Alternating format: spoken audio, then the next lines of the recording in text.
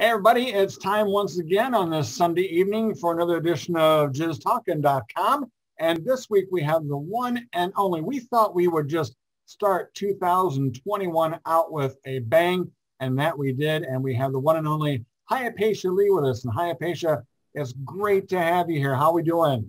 Oh, thank you, sweetie. It's so nice to be here. I really appreciate you thinking of me. Thank you, sweetheart Aaron. Thank you. It's so cool to see all my friends. This is awesome. I love talking to Eric and my dear friend Richard. Oh, I've missed you all. This is so cool. Wade, how you doing? This is and, really nice. And hey. not, only, not only do we have that, we've got uh, Tara in Canada and Joey's from down under. Joey's on another sick day today. Aw, I'm sorry. I hope you're not really feeling sick. He's not. He just calls into work sick because he wants to be honest. And then uh, I'm just letting in uh, uh, Jose Duval. He's going to be with us as well too. So we've got a, a great uh, bunch of folks here. Uh, Eric Monti is here with us as well. And, and so we're having a great time. Uh, let's talk a little bit about first things first. We have some sad news this week. I want to uh, share a, a, picture of a person we lost this week on Wednesday. And this was the one and only uh, Carter Stevens, a film pioneer and what I would say would be self-described dinosaur, as he always called himself. And, and we became friends. And, and I did a, a lot of computer work for him back in the day. And uh, he left a couple of nice reviews on my, on my website. And, and he was an all-around nice guy to me, and an all-around nice guy to a lot of folks. And and I know he's got a, his sons are kind of struggling right now with some bills. They've got a GoFundMe page. I'll link that in the description as well too. So maybe some folks can help out with it when we get time. But anyway, um, hats off to the memory of uh, Carter Stevens uh, here tonight as well. So with that, let's get right into it. Hey, I want to just bring in Richard Pacheco to start things out because uh, he's always full of little trivia items and I like his shirt. A Yankee fan, huh? Yeah. Well, I was cold. This is a gift to me from Whoopi's mother. So um, I wear it because uh, I'm cold. I like the Pirates though, and I love Hyapatia. And I'm oh, so, I love you, hon. I'm so happy to see you again. It's been so long, and uh, such wonderful memories. And uh, it was one of the highlights of my career to get oh, mine to, as well. Get to work with you and know you. Um, one of the things that we as performers were fortunate enough to share is that it's rare in life, especially if you're married and you have family and you you live a life, to get a job where you get to get close with some other human being, and um, it's allowed, uh, and you can you can just you wow, wow. Yeah. And uh, I felt that uh, some of those turned out horrible, but you didn't. and uh, we had, it's just such a gift that I, I got to have that time with you. So thank you. Oh, sweetheart, thank you. You were such a joy and a pleasure to work with. I think one of the main things that stands out about my time with you was how respectful and professional you were. You know, you weren't one of these fly-by-night kids that, you know, was on drugs and just doing it for, you know, whatever. You were serious. You were an actor. You were professional. And I respected that so much about you. And then not only that, but the fact that you also, like I, had a life. You know, you had your wife. I had my husband. I had my kids. You, you had your life. And I thought it was really cool that we could connect on such a unique level, you know? Yeah. not only as artists making a movie, yeah. but also as two people communicating physically.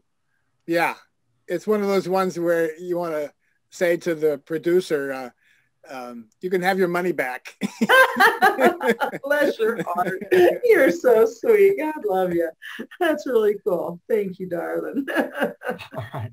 Well, appreciate that. And thanks for coming by, Richard. It's always great to have you stop in and share a story or two. And and also a guest that was a couple of weeks ago uh, now is uh, Cathy Brown. Cathy, how are you doing tonight? I'm doing well. I'm doing well. It's really great to be here and to see Hyapatia. Um, I've written a few pieces for you. I wrote Centerfold. Um, I love I, that movie. That was I so well written. Bless Thank your you. heart. And I got to tell you, I'm sorry, but Richard, it is so good to see you again. It's been forever, and I just am so glad to see you. But Catherine, that was really well done. You're quite a talented uh, uh, writer there. That's thank you. I love well, that. It was tailor written for you, oh, um, and and if uh, people don't remember, it was about a woman who was a photographer unbelievably beautiful and she becomes a centerfold herself and that was played by Hyapatia. And I also wrote I Do Three and I wrote part of Slow Dance with uh, Gloria Leonard and uh, Raven Touchstone. So we all kind of collaborated and it was just wow. always so nice to write for you because you could act, you could do the sex, you you just you loved what you were doing and it was just so wonderful. Now you don't have to say it was one of my movies but if, could you name a few of your favorite roles? A few of your favorite films? oh gosh. Well i have to say the ribald tales of canterbury because it's a takeoff of chaucer's canterbury tales. So it was a period piece and we got to you know go to um, universal studios and rent costumes from them and uh, the budget was close to half a million dollars. Uh, we shot for wow. nine days. So, and it was on 35 millimeter Panavision. Mm-hmm. So, I mean, we rented horses and shot in Northern California. I mean, that was a real movie. So I, I really enjoyed the production value on that, of course. Um, I thought The Masseuse was a really good movie because it explored people's personalities and their motives and who they really were rather than mm. just your hi i'm the pizza man. I don't have change. Let's do it you know? Right. I think neil I, wexler I, wrote that and you were nominated for that too and he was yeah. i think he won for uh, best screenplay. Yeah i think that movie got four awards uh, if i remember correctly but i've slept since then so i might not but you were always associated with with good movies, good scripts, and I really appreciated that because it was so frustrating to get a script that had no substance in it and mm-hmm. nothing to act, and the character was just unbelievable. There was no substance to it. There was no believability. And yours were always something that I could really sink my teeth in and do a little Stanislavski method acting with, and do the research. And then, you know, I love doing that because I come from a theater background. So that's why I got into adult films was to act and make movies. And I loved it. You gave me something fun to do, something to work with. Great. And you made the writing so easy. And so when I knew it was a piece for you, it, it was just, you know, you just, I knew that you would give it your all. And you were just always, also the way you moved was so graceful and beautiful. I know you're a dancer too, but you know, it's just a pleasure being a woman and a dark-haired woman. Well, now my hair is white, but uh, well, just mine to have somebody too. At least it's getting there. If it weren't for the hair dye, you know. but just somebody who looked different, you know, who wasn't one Thank of these, you. you know, cookie cutter blondes. It just was really nice to see you up on screen. Thank you, sweetie. I appreciate that very much. Well, Cathy, thanks for stopping by, and, and we'll we'll cert- maybe circle wagons back to you a little bit later. Okay. Great, great. Jose Duval is with us. Jose is going to be our guest in a couple of weeks here, and and we can't wait to, to hear what he has to say. But uh, it's nice to see you here today. Yes, um, I'm glad to be here to see you. But I follow you on um, uh, YouTube, your interviews and things like that. I love it. Oh, thank you so much. I really appreciate that. And you did a good job defending the undefendable Ron uh, Jeremy. Well, he and I have been friends since I got into the business, you know, way back in the early to mid 80s. And, yeah. you know, I, I wasn't in contact with him on a regular basis. But we did do that Ponderosa Sun Club once a year in Roselawn, Indiana. And I saw him change over time. Yes. Of course, we all change over time. Yeah. I worked with him a few times. Actually, I, one uh, thing, I was his father. oh, wow. I think it was brown, brown sugar or something like that, yeah. Uh-huh. And uh, I worked for, for him one time too. Okay, thank you, thank you. Oh, thank you. Thank you. All right. Well, thanks a lot, Josie. We'll see Josie coming up a little bit later on uh, this year in the new year. And so that's uh, something we'll be looking forward to. Yeah, you did. Uh, uh, you do. Uh, you do have a, a, YouTube channel. Let's cover that right away because we're going to uh, put that in the link and then also on the website as well too. What's it called and what's it about? Thank you. It's called Hyapatia Lee Native Strength. And Native Strength isn't just about Native American strength. It's about the strength that's inside of you. It's about self-help mental health from the Native American perspective.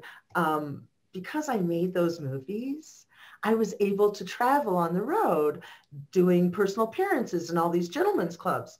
And I booked myself in clubs that were near reservations. So I went to the reservations. I met the elders. I met several medicine men and women, excuse me, and I studied with them. so I learned a lot of the ancient ways. And one of the things that I was most interested in was mental health, you know, depression, uh, anxiety, grief, stress, all those things. And I found out that there is a huge, rich culture that has so many tools to help us on our path to happiness, health, harmony, humor, and hope. Those are the five heyokas. Um, that it puts the mental health community that we have today to shame. They have nothing other than drugs and talk therapy. But when I found all these wheels and keys and tools, I mean, it took me a while to get myself in order because like anybody, I have a lot of dirt under the rug. But, you know, I've been through a lot of trauma in the past, but it took me a while and I figured it out and I did all the work and oh my gosh, it works. So I was elected Blessed Woman for the Lost River Band of the Cherokees in Mitchell, Indiana. This was oh, back in 2000. And as the Blessed Woman, um, I'm a pipe carrier, so I like did sweat lodges and pipe ceremonies and healing ceremonies and stuff. But one of the things I really taught the people and wanted to teach the people was these wheels and keys, the self-help mental health, you know? And because it worked so well for me, I said, I wonder if this will work for other people. And it did. And I thought, wow, that's really cool and I sat on it for years. I just sat. And then about oh, five or six, maybe seven years ago now, I wrote the first Native Strength book. And I've written five books on it. And then it dawned on me that nobody reads books anymore. And that because I had this wonderful background in making movies, and I had learned so much on the set about lighting and cinematography and camera angles and all this editing, I could put all this to use and make a television show on what I'd learned. So that show is called Native Strength. And we just finished, I just finished my last episode of the third season. I'm working on the first episode of the fourth season. The show airs on Amazon, Roku, and close to 50 stations across the country now. Oh, and of course the YouTube and, channel. And I love, I love your your background you have for that. Oh, thank you.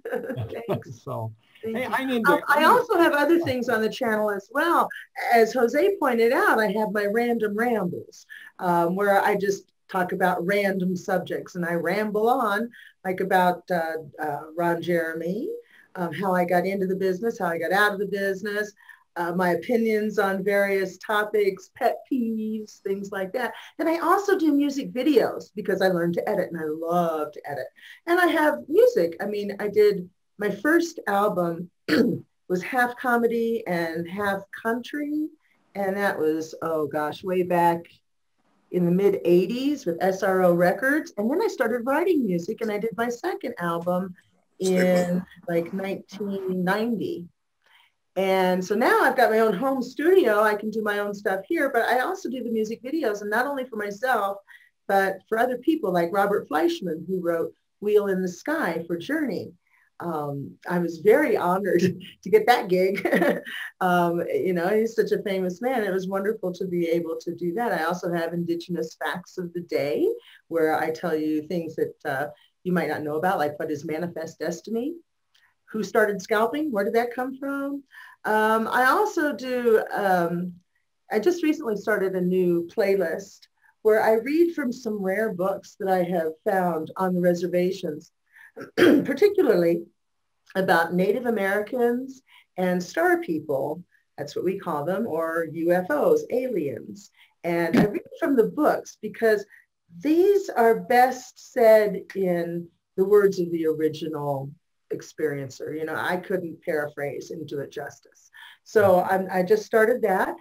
And this next week, I'm going to be starting a guided meditation um, in Native American style for relaxation and getting in touch with your inner elders and things like that. Okay. So there's a lot of stuff to check out on the channel.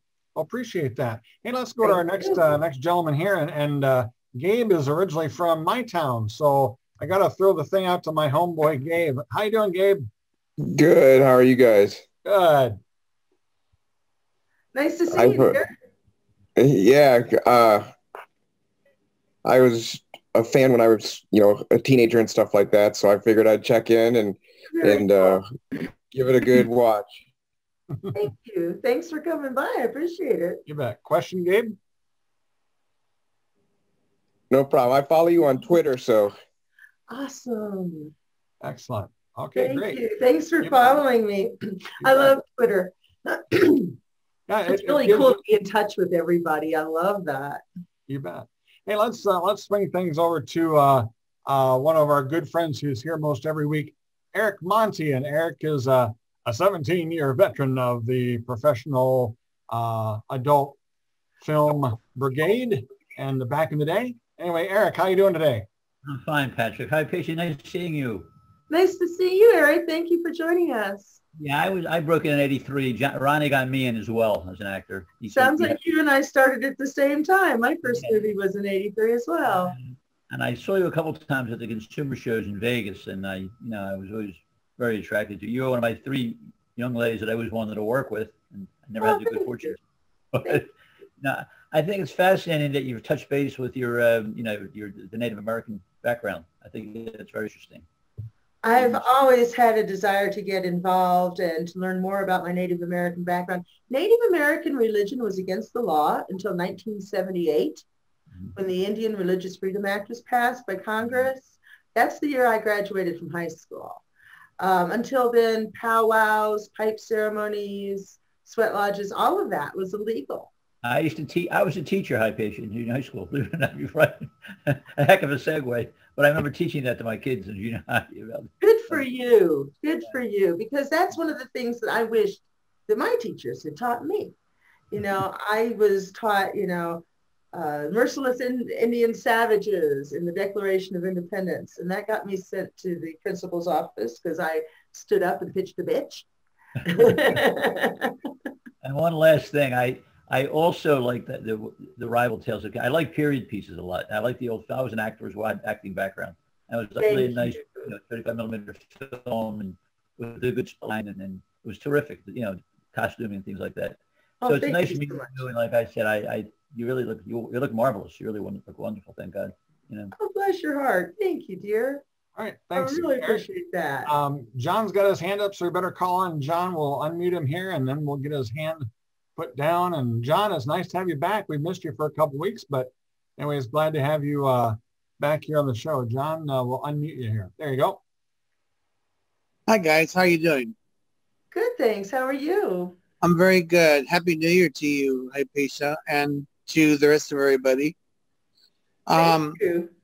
I was a big fan, like like everyone was saying, when I was a younger person, and I loved the masseuse. Um, but I one of I always remembered you in one of the hottest scenes that I still, I think to this day remember was a really great scene with you and Barbara Dare. Uh, and unfortunately, I forget the name of the film. The Wild Wild West. Yeah, and it's just it was just to this day I remember that one. Just a, a classic scene to me. Barbara was very sweet. It was fun to work with her and I have I've also caught some of your YouTube videos, and um, I'm been, I'm going to subscribe to it now so I can catch up to all the rest of them. But um, as an old fan, though, I just uh, unfortunately I'm going to have to head off to work in a little bit, but I had to stop by, uh, give you greetings, and um, just thank you for the work. Oh, thank you so much, dear. I really appreciate that, and I really appreciate you watching my YouTube videos. Of thank course, the continued success to you. Thank you. Thank you, darling. You Thank you, John, for stopping by. Now get to work. Now, somebody who should be at work, but he's on another sick day is uh, Joey. and his boss is going to just fire him someday because he's going to stumble upon this website and then it's just all going to go to hell in a handbasket. But Joey's from Australia. Joey, how are we doing today? Good morning, Patrick. How are you doing today? Excellent. That's good. How you guys going there with the COVID and stuff over there? Is it pretty strict over there? Some places it depends on the state you're in and who's the governor, in my humble opinion. I'm in Colorado. so our, we have a Democratic governor and he's a little bit more proactive. We have state mandated masks in public areas, mm-hmm. which with my compromised immune system and my health condition, I am adamant about paying attention to. We got the new strain here in Colorado that they had over in the UK. So that's mm. a little scary. Um, yeah, no, we um, we were doing so well before Christmas for about um, six weeks with no cases. We we're doing so extremely well, and um, until uh, just before Christmas, the cases went up, and it's ga- it's the, the, it's gaining higher and higher. And starting last night, midnight, everyone must be wearing masks, and we're not allowed to travel. We got to stay indoors. So our Christmas and New Year's were kind of shot down in flames, so to speak. So it was pretty it was pretty bad. So and we have the school holidays come up down here in Australia, so kids must stay indoors. They can't go out. I've got my son here at home now, so and it's just um yeah, it's it's a bit of a downfall, but we got to do what we got to do to stay safe, unfortunately. So, but um, but it's good to see you again. Thank you for your time. Oh, and, thank you. you know, my heart goes out to you with children at home. Um, my sons are old. They have their own kids now. So my heart goes out to them. I homeschooled yeah. my kids up until uh, my oldest was in eighth grade and then I kind of gave up. Um, and, and, it's a good thing because he, he's so smart. He's got a PhD in physics. He went way over my head. Um, but I don't know how you do it with your kids at home. My heart goes out to you. And I, um, by the way, I got to say, I love Australia. I was down there in 1989 um, 89 and Ooh, I was, I was still in high school. Bless your heart. Yeah, and in New Zealand, they're doing pretty good with the COVID too. Of course, they've just recently had their cases. Uh, mm, yeah, a little bit too as well.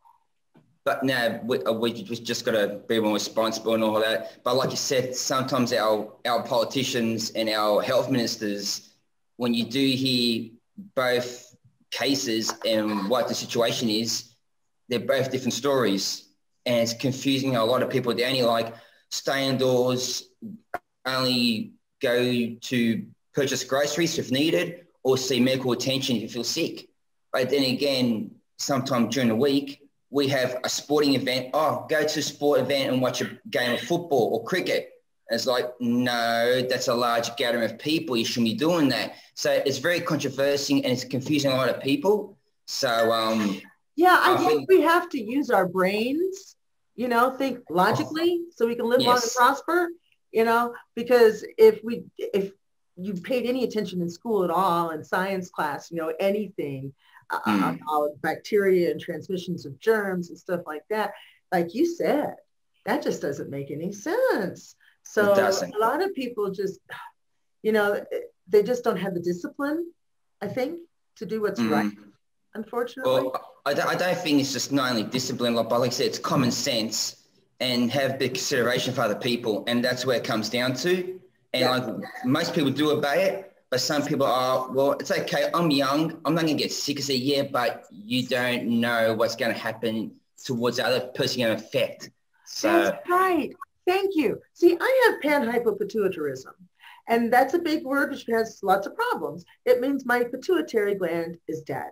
So I don't make any of the necessary life-sustaining hormones, like growth hormone, which makes your immune system work.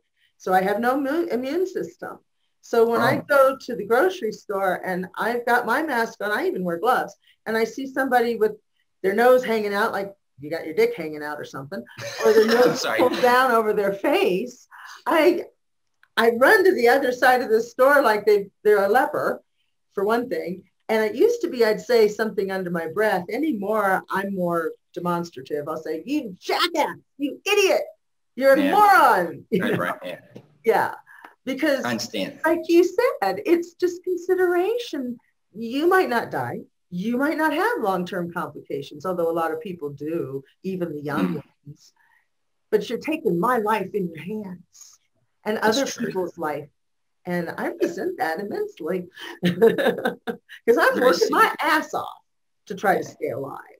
If you've seen my YouTube channel and my videos about Yes. panhypopituitarism and living with panhypopituitarism, you Yes. know I am working my ass off to stay alive. Yes. I take a minimum of two injections a day and multiple drugs uh, from inhalers and nebulizer treatments and, and, and medications out the yin yang. It's ridiculous. The price of my It is. medical care is insane. And I'm going through all of these hoops just to stay alive. And it's too difficult for somebody to wear a mask. Yeah. Common sense, isn't it?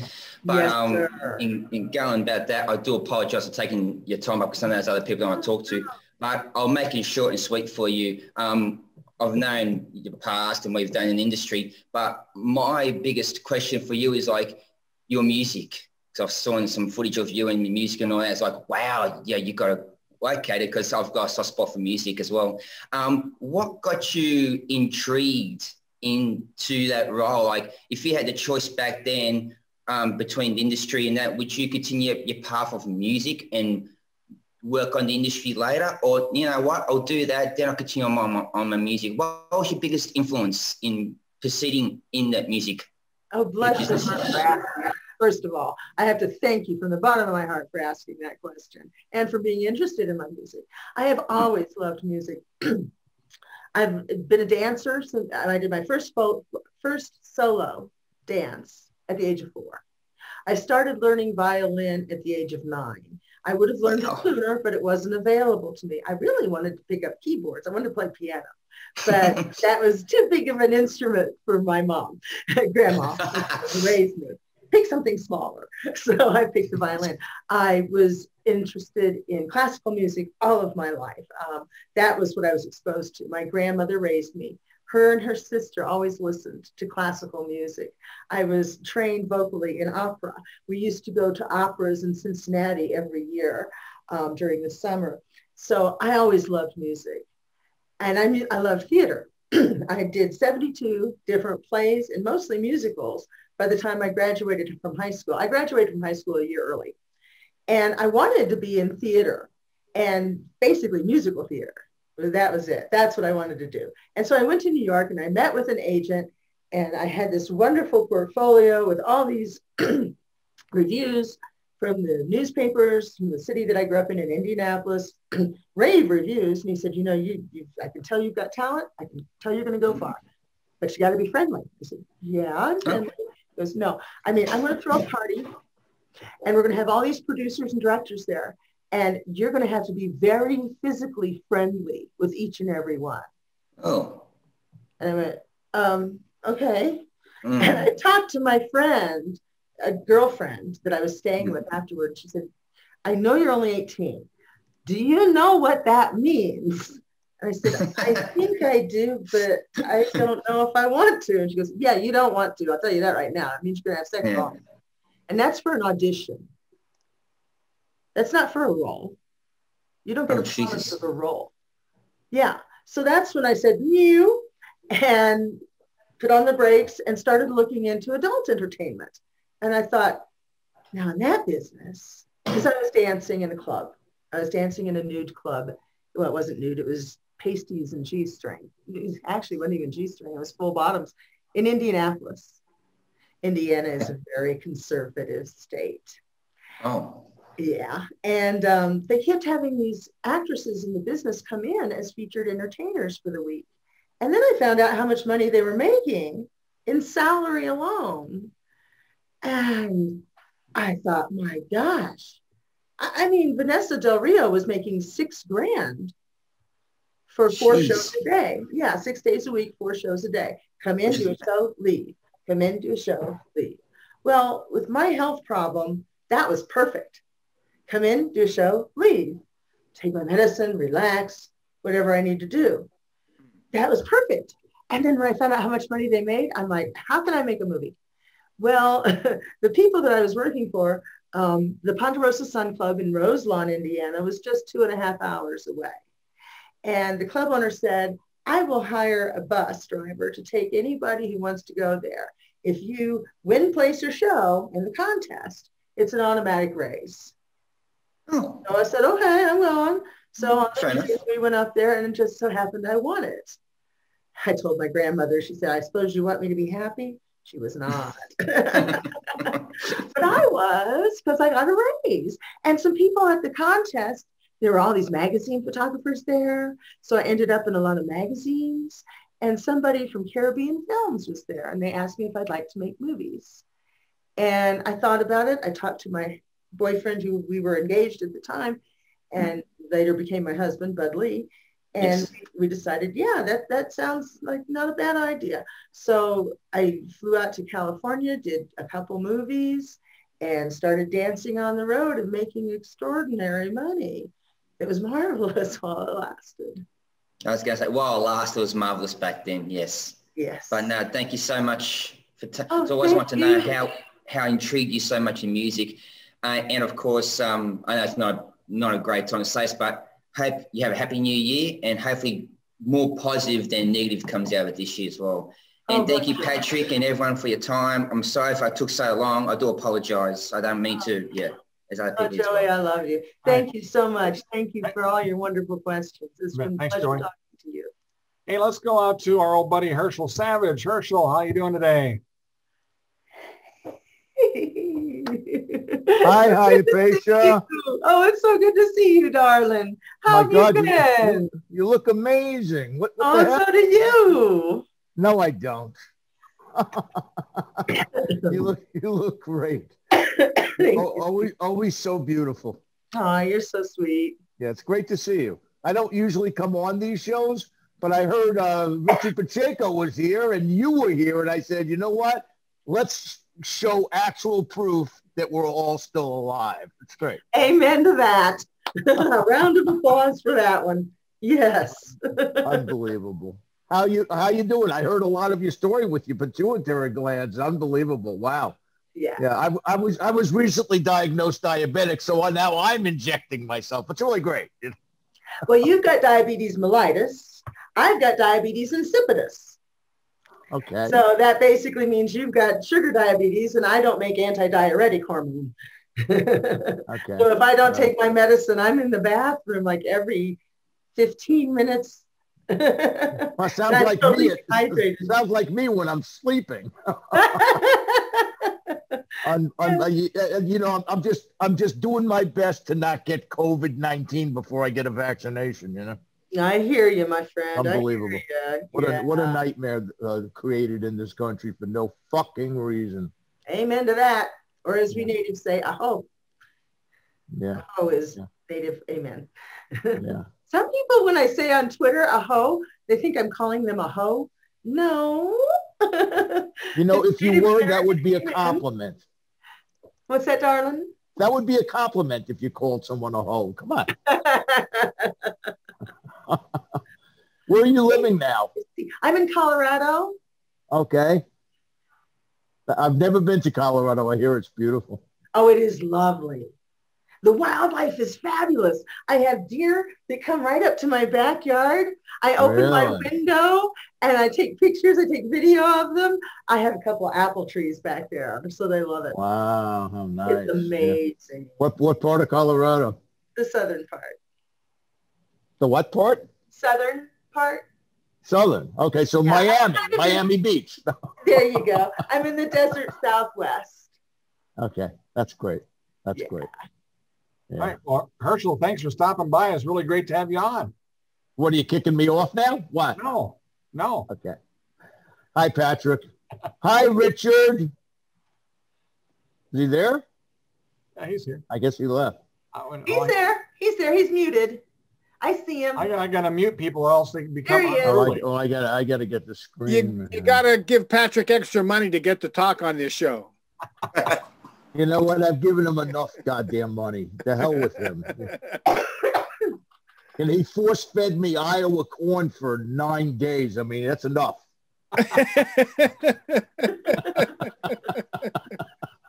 How you doing, Howie? I'm doing great. Good to see you. Good to see you, man.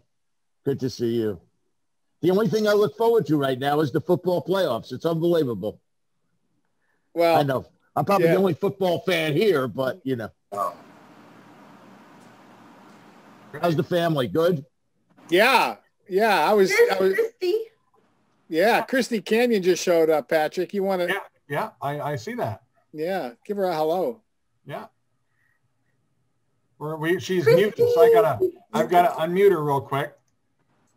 Just, uh, she's gonna figure that out by hitting a button, Hit that button, Unmute. honey. unmute. Okay. There she is. Yeah. There she is. Mwah, mwah, mwah. I love you, Asia. So good to see you. I love you guys. Oh my God, I love you. I, I was like 433. I'm like, I gotta go join Hyapatia's meeting. I love you. And look Aw. at you, Howie. But you look fucking fabulous, Hyapatia. Aw, Yeah. You're so sweet. So do you, really, darling. You just do she not really age. does. Wow. Unbelievable. Look exactly like we did in Crazed 1 and 2 in the early 90s. That was a fun time, wasn't it? I'll never forget you hitting him over the head with that beer bottle. Oh my God, the guy, I forget his name, but he looked like Donny Osmond. yeah, I can't remember the gentleman's name either, but that was that was hilarious. And you had to do it three times. Of course, it was a oh. breakaway bottle made of sugar, but it was like, wow. Christy, Christy, Herschel, your your hair looks amazing, Christy. What the hell did you do, man? Unreal. My hair- you know what? During this lockdown, I just started to wash it and put in a bun and let it go natural. I don't straighten it anymore. Wow, looks great. Looks really great.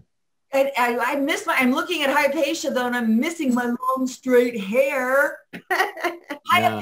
Hyapatia, can you believe after all these decades, Vivid sold out? wow. Steve no longer owns it. Well, that's good. Really? Who did, who did he sell it to? Maybe they'll run it right now. Oh no, he was so good. Still is so good. Um, he licensed it out to Gamma, a company out of Canada, for a five-year licensing. So he gets tons of money for doing nothing. He's like, after five years, if I, I never what else is new. I'll be okay. You know, like, but no, he's uh he's just, you know, he, and then I think Wicked just sold out to them. It's such a different because I still do Vivid Radio, Hyapatia. It's such a different world. I oh, tell you, Vivid was a different world from Caribbean films. There's nothing like getting the script when you're sitting in the makeup artist's chair the morning of your first day of the shoot. There's nothing like having the director come up to you, Paul Thomas, and say, I'm sorry. I was up doing cocaine and arguing with my wife all night. I won't be back till later. Here's the script. Have fun. And then coming back at two in the afternoon and saying, I gave you the wrong script. We're going to have to start all over. I that. Oh my God. Oh, See, yeah. That's why I quit. No way. I walked off the set and said, I'm never doing that again. Never. They knew with me, give her as little dialogue as possible. Her brain's like the size of a pea. She won't remember it. Well, you know, if they'd have given you the script maybe, I don't know, a week, five, three days before the shoot, that would help. I mean, that's what professionals do. That's what Caribbean films does. That's what when I made my R-rated movies, they did. I mean, why can't we run the business like that? The Caribbean films did. It can be done. You know what though? I mean, they were, I think, the best out there. You had VCA and Vivid. And other than that, we I think that Vivid was, you know, considered one of the PT was an oddball, I have to say. Like when they He, when I was involved, in my humble opinion and in, in his words, was a drug addict. And I'm sorry, I don't like to work with drug addicts. Right. No, it- you know what? When he used to leave Hyapatia, I was like, like my last eight movies he didn't even direct, and they were my favorite. I can understand why. Brad Armstrong and his partner, and then um, Pachard. Uh, Richard Pachard was um somebody's son. Pachard. What was his name, guys? Somebody. I'm. I, my, It my- was Ron Sullivan's son. It was, yeah. Yes, he not Pachard. Ron Pachard was unbelievable. So when PT wasn't there, I was fine. When they finally let him go in 2000ish, I was like, Steve, what took you so long? Like He wasn't in the game. I 100% agree with you, Hyapatia. And I think years later I said to Steve, why'd you keep him that long? I mean, he didn't really want to be there. He's like, Christy, if I put his name on a movie, it sold like hotcakes and it got every award out there. He said, I kept him because he sold. I don't believe that. I'm sorry, but there are very few people that buy a movie because of a guy who directed it. They buy the movie because of the girl they, that's in it that they want to see, usually the girl that's on the cover. And it's usually a vivid girl. Yeah, because it covers. It just took the time to book a whole day and get a professional shoot and do a good cover because at least he knew that much. But the thing with Steve is he wasn't hands-on. He never visited the set. He didn't read the script. He didn't follow through. That's what I liked about Harry Mohney in Caribbean films. He was on the set. He followed through. You he know, knew the script before you ever got there. He knew what was going to happen. Steve once told me, Christy, you aren't going to believe this. I've never even seen, not just one of my Vivid films, I've never seen any porn film in my life. He's like, I don't want to. He's like, and you guys are kind of my friends. Why, you know, I just, I don't want to be there. That's why, you know. And then Marcy came along, his sister, and she was like our den mom.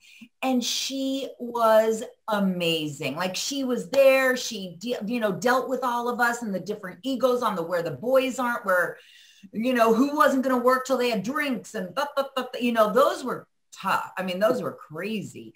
Ernest Greene, who was married to Nina Hartley in that late 90s era, when I did some of the Where the Boys Aren't, he directed, he said to Marcy after, I will never do a Vivid Girl movie again.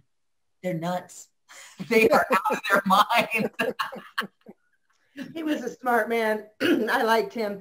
Back when we tried to start the um, the uh, uh, union, back when AIDS first hit the business and oh, we started the union. He was head of the men's side and I was head of the women's side. And we went to all these different companies and said, we would really like to work with condoms to show people that this is what we should do so that they don't get sick from AIDS. It's what the homosexual films are doing. This is what we would like to do. And Vivid was one of the first ones to say, absolutely not, no way. Anybody who's on board with that, I will blacklist. But we wore them in Vivid. Yeah, because so many people were adamant, but he really did not want Vivid, to. Vivid and Wicked were the only two condom mandatory. So I don't know when that union thing was. That was back in the late 80s.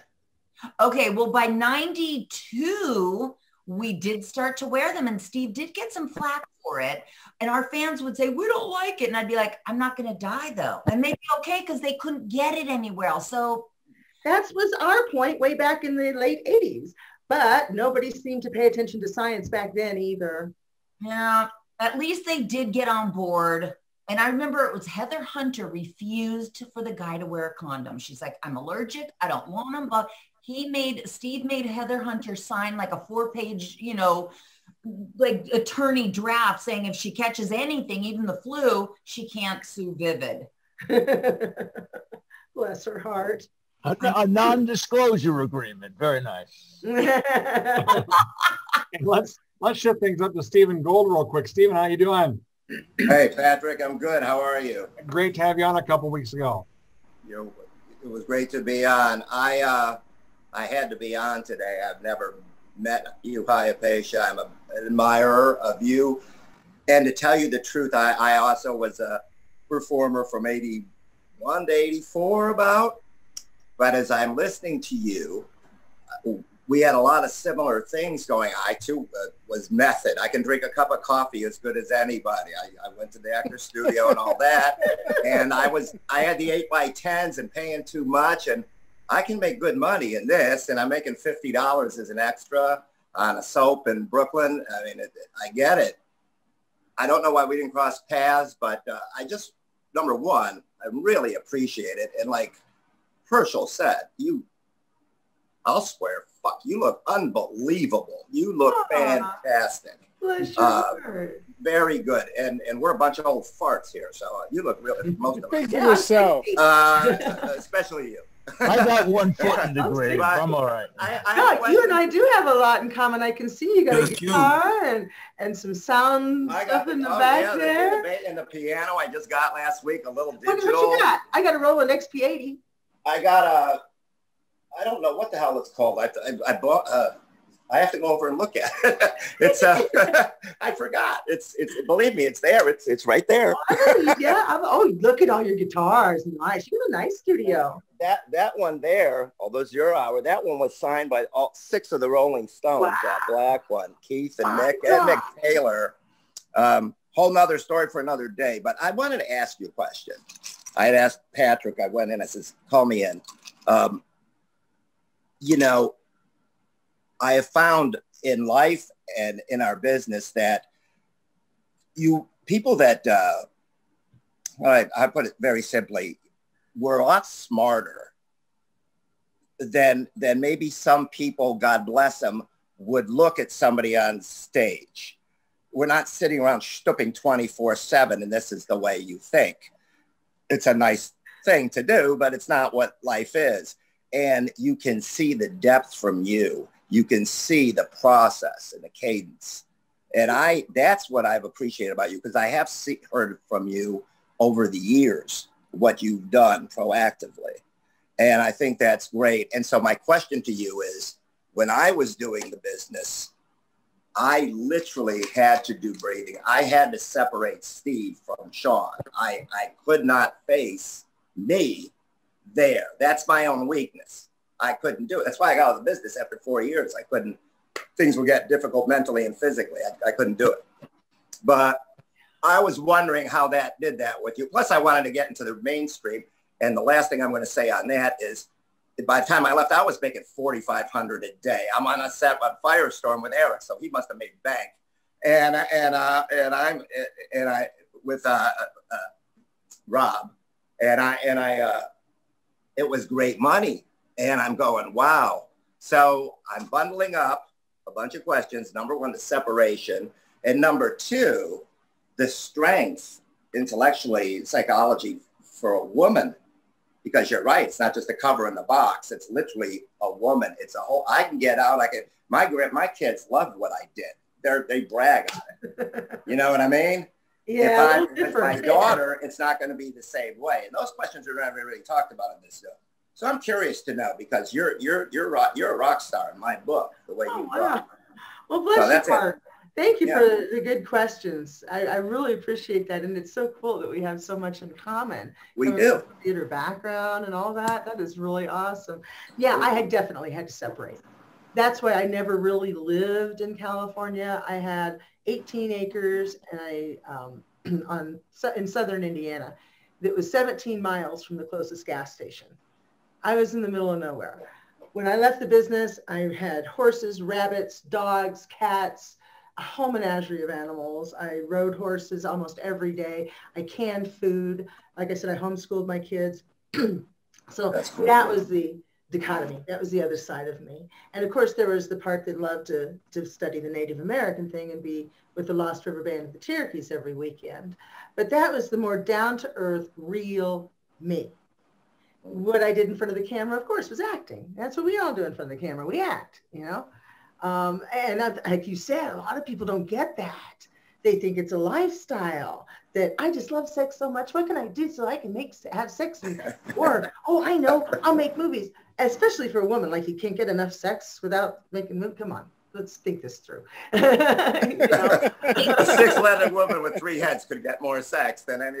yeah, I mean, exactly, exactly yeah but yeah it was it was difficult and it was um, more and more frustrating because when i first got into the business you know i wrote the ribald tales of canterbury i wrote the screenplay of course i didn't write the that. screenplay geoffrey chaucer wrote that but to adapt that and i wrote let's get physical and body girls and hyapatia is sexy and um, all these other movies and so I, and Harry Mohney was awesome. The very first movie I did, The Young Like It Hot, he had me involved in the editing. So I saw how they shut, they spliced things together and how they sent it back to the lab for color correction and all of that way back in 1983. So when now everything's digital, I'm like, oh, so this is how you do it digitally. How cool. I can do this at home. So I'm a kid in a candy store right now, not only with the editing, but with the DAW digital audio workstation for the music that you're probably very familiar with. So I, I'm really having the time of my life. But the actress that everybody thought was, you know, really into sex and all that, that wasn't who I was at all. My pituitary gland died in 1978. So I didn't make androgens to enable me to have any kind of a functioning libido in 83. Mm. I, yeah, I had all kinds of infertility problems and all kinds of issues. And I tried to keep that very private. I didn't, you know, I was embarrassed for one thing, and I was not properly diagnosed until rather recently. So it was something that I didn't really want to share with everybody. And now as I've learned more about it, I'm finding out that panhypopituitarism is highly underdiagnosed. There's a lot of people that have it that don't even know it. and your pituitary can die in various degrees. So you could have just the front part of your pituitary gland die, and then it can slowly die even more and more over years, which is what happened to me. So that was very difficult for me to force myself to do sex because that was an act. That was not something I really enjoyed. I mean, there were wonderful people that I was able to work with. I mean, like yeah, yeah, yeah. Richard, I mean, and, and Eric, who made it enjoyable. But it wasn't yes. as enjoyable as it should have been for a normal person because I, I didn't make those hormones. I didn't produce those things that would allow me to be normal. So it, as time went on, it got more and more difficult. And as the business got less and less professional, it got less and less worth it. Exactly. Well, it's funny you say that. Look at the people you mentioned. Eric, I think you went to the, I think he was a, a, an actor at the Academy of New York. It was a, a, an actor. Richard's got acting background. You gravitated to people with talent and it, and it doesn't judge. God bless the people that weren't. But I was around the Coke freaks. Everybody else. Also, Ron, by the way, was five of the 11 movies I made. Ron Jeremy is my dad or my sheriff or somebody. And I liked Ron. I did. I met him. I've been in his house in Queens, met his dad, late father. Um, it's really, it's, it's funny that you said all that. I'm, I'm I, last thing with you, uh, Hyapatia, is that it's funny you had said about uh, the party, what you have to do. It works with men too. I used to work on soaps and bit parts, but to go farther, it was who I blew and who I knew, and I could have gotten farther. And did you ever think in our business, in this world, I had control. I'll do the sex on my own time and get paid good money you're not going to tell me to blow somebody and then maybe you'll give me a part or maybe you won't in a legit movie. It's very difficult. So that sounds like you took the words right out of my mouth. Not right. only am I in control, I get to choose who I work with. I get to write the script. I mean, there's no comparison. yeah. and, and I know it's the same for guys, even more now than it used to be. But it's always been that way for guys. Okay. All right. Well, we'll thank you. Thanks so much for your time we got a, we got a few more to get to before Thank we wrap you. up our hour. Not only do we have somebody from Australia here, we have somebody from Canada in the room. Tara, how you doing today, Tara? I'm not too bad. Hi, hi, Apesha. Hi, sweetie. I'm a little nervous, but um, I want to know if you have any memories. Uh, you worked with the late Jon Dough in six movies. Do you have any memories of him? Oh, I sure do, darling. Um, it's very difficult to talk about because mm-hmm. he was a nice person. I respected him. I admired him. I saw him change over time, but it wasn't, I mean, I would be gone. Christy would know. I'd be gone for years on end. And then I'd come back to California for one reason or another and see people. And I'd like, that's Jon Dough. My gosh, he's changed. And um, shoot, I remember when he was married to Deidre Holland.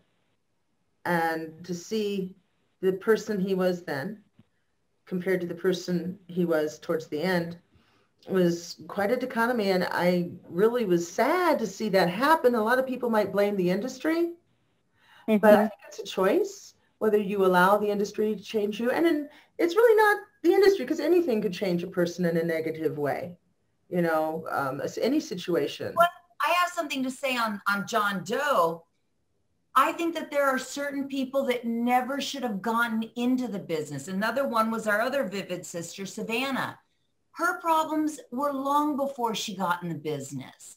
And I think Jon Dough had serious depression issues long before he got in the business because the men weren't treated poorly. They made a couple hundred dollars a day. They had fun. I mean, they weren't abused. I think certain people just mentally couldn't handle it. And who knows what his demons were. I don't know. I mean, look at, he was married to one of the most beautiful, vivid girls and, you know, had a decent life, I'm sure. But he could daughter. Yeah. I think what people don't take into account is that nobody commits suicide because of the job they had. Right. Bingo. It's a series of things. For example, um, let's go way back to the first one that I'm aware of was uh, Shauna Grant and I did the Young Like It Hot with her. Like I said, I toured on the on the road with all the, all these different gentlemen's clubs. I went to Minnesota. That's where she's from. She happened to be there. I met her family. I went to Farmington, Minnesota, and I met her family, and I talked to her mother, and I talked to. They treated her like shit, and they had treated her like shit all of her life. It wasn't because she made movies. It was because she came from a family that did not give her unconditional love and support. They were very strict um, very, um, you had to conform or you, you were not worthy of love, basically. And Savannah, if you remember, when she was 15, her parents kicked her out and she moved in with Gregg Allman, who was 50. I mean, you know, so I think that their issues yeah. start. Yeah. And her, her father was never involved in her life. Her father yeah. was never around. I mean, we come from a series of traumatic events when we get to the point of wanting to commit suicide. It's not just this last thing did it or this did it. It's the straw that broke the camel's back. It's a series of events. So to blame it all on one thing like the industry is really taking a very complicated issue and breaking it down to something that is just too elemental, elementary to be real. I mean, it's just stupid. Um, and that's the thing I think that people don't take into account. They want to blame the business because it's so easy to say, that's what did it right there. Or blame drugs. That's what did it. Well, why does somebody get into drugs to begin with? To right. self-medicate. Well, you're right. pain. That's why you're self-medicating. And even like in our era, I mean, I know we all came into business as these kind of like lost little souls. You know? I mean, I know I did and Ginger and I, who she's still my best friend, we talk about it and Victoria Paris, like not that anything was wrong. We were never abused in any way, shape, or form, but we were looking for that outside family. Well, I think we were all young. Nobody got into this business as a mature, no. well-seasoned adult. We all got into it as kids, basically. We were in our 20s, you know, and there isn't anybody who's in their 20s that's got it all figured out. I was barely 18, but it worked out. Luckily, you had the nice people like the Jim Souths and, you know, people that didn't take advantage. I, I mean, in my years, at least you started a year before me. I never felt taken advantage of. I had like Jim South was our, he was like a savior to me. I mean, I could have gotten one of these scumbags that are around now that just abuse these poor girls. I hear the stories on radio. We yeah. were mollycoddled, you know, we were coddled in our day. We were spoon fed. We never, I don't remember ever doing anything I didn't want to do. Definitely. I put my foot down. I mean, I remember a scene with Rocco Siffredi where um, the basic fundamentals of the scene, I never did an anal scene. I never did any of these strange gangbang things that everybody does nowadays. But the scene was a little bit I did it rough. It was a little rough. And I don't like rough sex. Right. I want to be made love to, not abused. So I said, I'm sorry, stop, cut. And I got up and mm-hmm. Pete said, what's the matter? I said, I'm done. That guy's never touching me again. I don't care what happens. Wow. I'm done. Over. So he rewrote the script. I will give him that. I will give him credit for that. He rewrote it so that um, Randy Spears came into the room and said, what are you doing with my wife? And that was the end of it. Thank you. Because I, I just don't get the stuff they, they do nowadays. Hey, let's switch gears. Um, uh, Casey has been waiting with his hand up virtually for an hour. He's got questions to ask, and we gotta we gotta have a couple more on before we let Hyapatia go. But time is is running uh, thin on us. So uh, Casey, go ahead. Thank you. I appreciate it, Patrick. And Hyapatia, I have really enjoyed this hour. I am such a huge fan of your YouTube channel. It, there's so much warmth and wisdom on that channel. And um, and we're getting it tonight. And so thank you so much for being here. Um, the interesting thing for me is that with YouTube channel, you've really created this own space for you that is it's it's a space that is fully yours. You have complete control over it. You say what you want. You you've curated it, and so it's something that is purely you. And so my question is related back to Vivid when you um, when you were director. You did two films for Vivid. Um, was that part of your original contract when you signed the contract with Vivid? And how much created Vivid as a director? Well, I was very disappointed, as I probably already said with Vivid. Um, I did not feel as though I was director and namesake only. I would get on the set and I would say, everybody, okay. please be quiet. I'd like to run this scene, please. And nobody would listen to me. Bye, Jose. Oh, no. And um, some guy next to me would say, everybody be quiet. We'd like to run through this scene. The exact words I just said. And people all of a sudden magically listened as if they'd never heard these words before. And that was very frustrating. Oh, no. Yeah. But when I was on yeah. set with, with Caribbean films, I had a lot of control. And like, I was assistant director for mm-hmm. The Ribald Tales of Canterbury.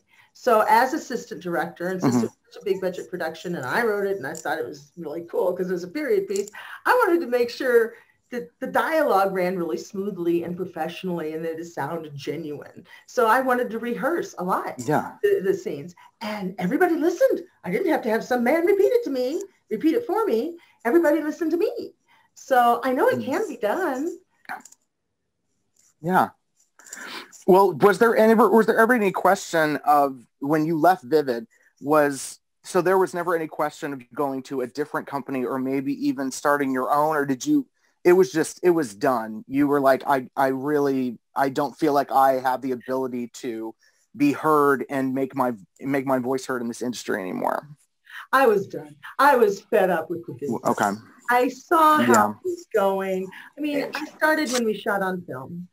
And when we mm-hmm. went to yes. video, the thing that all the producers said was, well, we're shooting on video. So you should give us a break with your charge. I'm like, what do you mean? I'm doing the same thing in front of the camera, whether your format is video, digital, or 35 millimeter Panavision. What I'm doing in front of the camera is the same. Why should I give you less mm why should I charge you less? You're saving money mm-hmm. on, on not shooting on film and not sending it out to a lab. There's where you're saving money. Why are you trying to right. rip me off?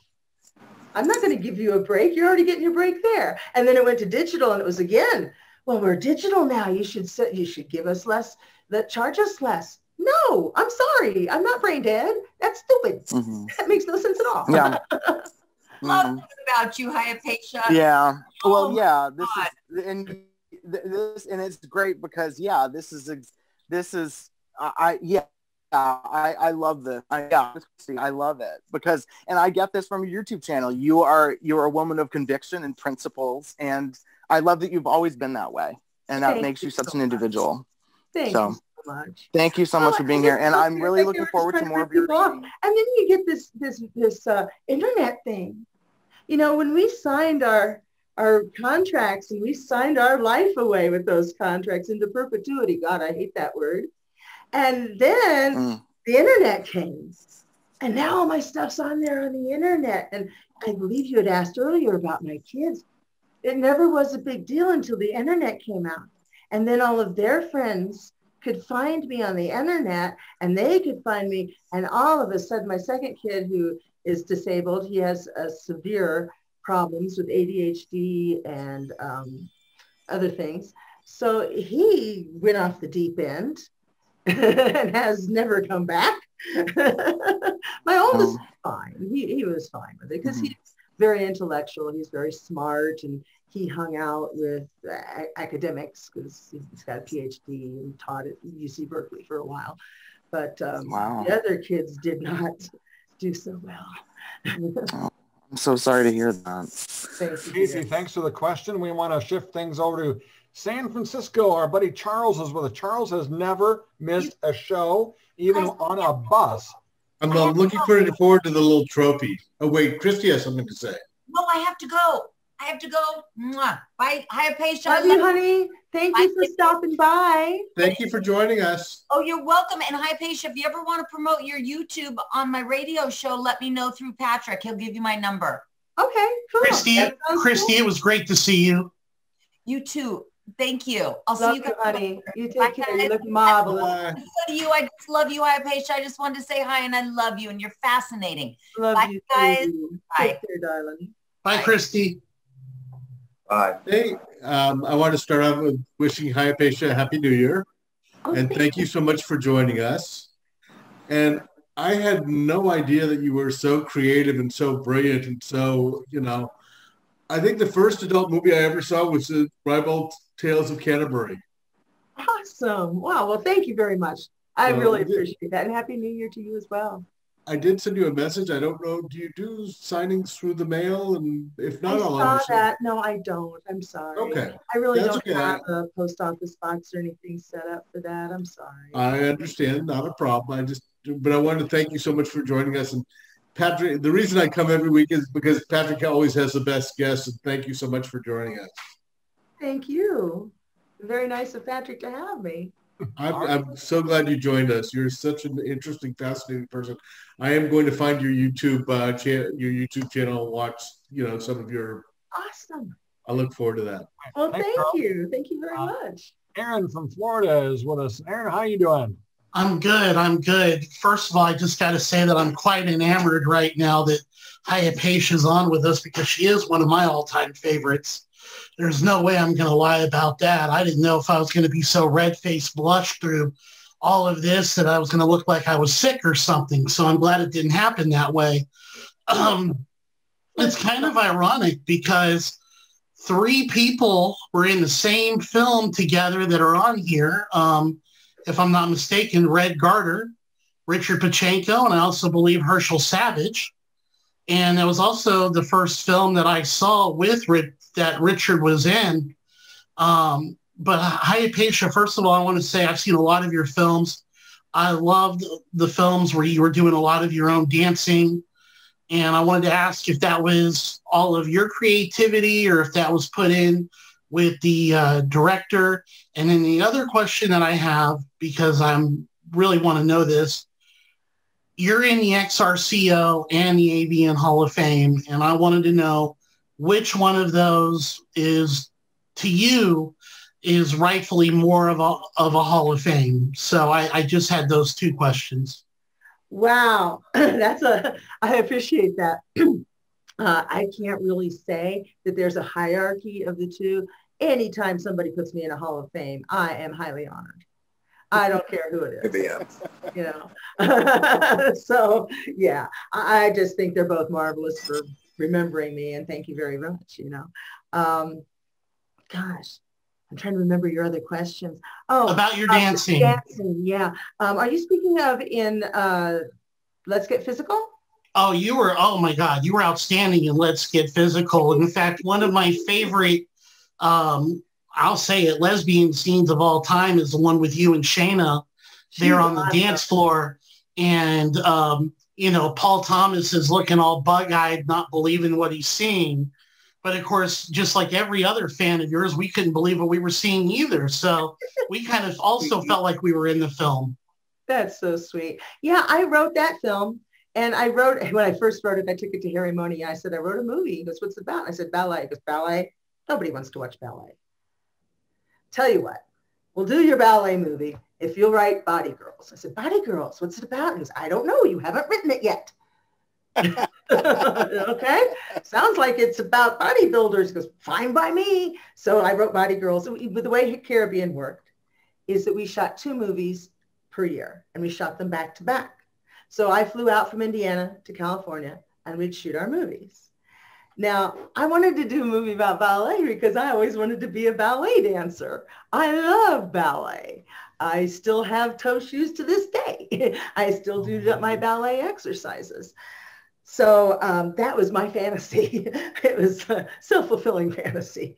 And um, on the set, um, Paul Thomas said, you know, I play the piano. I could write a little song. and I could sing to it, just a little, you know, one minute, maybe a minute and a half. And if you wanted, you could dance to it. We could kind of put it in there as like a fantasy scene. What do you think? And I went, oh, fuck yeah. Oh, yes, please, please do. You have sung to my heart, you know? So he did. He wrote that little song right there on the set. And I choreographed the, the thing to it after listening to it a few times. And there we went. The opening se- sequence with the pas de bourrée, pas de bourrée, that was in the script you know, because that's just basic dance class stuff. I'm registered with the DEA, Dance Educators of America, um, certified in ballet. it's a three-hour uh, certification process with written, verbal, and physical things. I missed one question. He said, do a um, promenade. And I said, oh, what? he said, a promenade. And I went, mm, don't know that one. so I missed that one. But everything else I got, Glissade Jeté, Assemblée, um, Grand Jeté, got all those. So I wanted to show off the, the dancing, you know, and that's why I did that movie. And then when Paul Thomas came up with that song, I'm like, oh my God, you read my mind. This is perfect. And back then, Paul Thomas, I don't know if he was on drugs or not, but he sure didn't act like it. He was a lot more together, in my humble opinion. At least he seemed to be that way. He appeared to be that way to me at that time, as opposed to when he was directing movies with Vivid. but thanks you for that question. That was a lot of fun. I love dancing. Hey, we've got, uh, I don't know the person's name, but his his name is Zoom user on this. I, he didn't set a name. Uh, yeah, sorry. Sorry about that, Pat. Um, uh, this is Lloyd. Hey, hi, Paisha. How are you? Hi, I'm good. Thank you. How are you, Lloyd? Oh, great, great. Hey, I just want to tell you, thank you for the um, the wisdom that you give us on the YouTube channel. Uh, loved your Native Strength series, and I'm also uh, enrolled in your uh, you was it ULU or the college course uh, online? Oh yeah, the um, Udemy. Yes. Thank and you. I wanted to thank you. Yeah, that was great too. And nobody seemed to mention that today. And I wanted to let you know that I thought that was very uh, useful. I'd just like to do another one if I could. Well, thank you so much. I Yeah, you're welcome. That. That's so nice of you to mention. I had kind of forgotten about the Udemy courses. Well, yeah, uh, thank you for taking it. Well, you're welcome. And, uh, you know, the medicine wheel is very interesting and I'd like to learn more about that. So uh, thank you for doing that. And thank you again for, uh, you sent me a copy of your CD and uh, 13 and the little, uh, little dancing mouse are Little jumping fantastic. mouse. Yeah, Yeah, that's my jumping favorite medicine story. Little jumping mouse. Yeah. Yeah. So Thanks a lot, Lloyd, for, for stopping by. Last last question of the night goes to Buck out of Pennsylvania. Buck, how you doing? Hey, hi, Apatia. Hi there. We there. actually follow each other on Twitter. My favorite part of your oh. Twitter is whenever you do show the deer in your backyard. I actually find that very relaxing. Thank you. I've got a couple of deer videos on my YouTube channel. Oh, okay, we'll have to check that out then. But whenever you put it on Twitter, I'm always like, I watch it two or three times. Like it, calm, it chills me out there. The YouTube I do on my little phone. The um, good quality camera, my 4K Sony. That's what I use when I put it on the YouTube. Gotcha. So we actually did a signing a few years ago, and I do appreciate that. Um, and then, and I would love to, and whenever you're up to it, do another one. I again, I have a guy that wants to print up pictures from the Joker movie. Um, I don't know if everyone cool. knows it, but Hyapatia was actually in the Academy Award-winning movie The Joker. She's actually at the end of the movie. She has no speaking parts. There's a huge billboard of her, and it is the most amazing thing because I remember watching the movie and I go, "Oh my god, if that's Hyapatia Lee," and all I could think about was that, and it took me away from watching the rest of the like being able to control the movie because I was too busy about looking at the billboard in the background. Oh, bless your heart. That is so cool. My friend, um, Karlos Borloff, he hosts the Monster Madhouse um, a, show in uh, DC.